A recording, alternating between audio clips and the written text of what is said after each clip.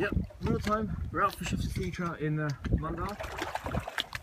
Just got one here. See? Lovely fish. Still a bit thin from uh, from spawning, so we'll pop the hook out and, and let him go. Yeah, that's fine.